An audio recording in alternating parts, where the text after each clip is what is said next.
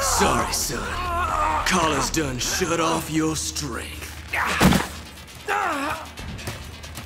And that's not all it can do. Don't know about you, Junior, but I'm harboring some old resentments against this boy. Oh, yeah. Let's finish him. Belay that. When the time is right, will have your revenge. For now, I need Superboy alive.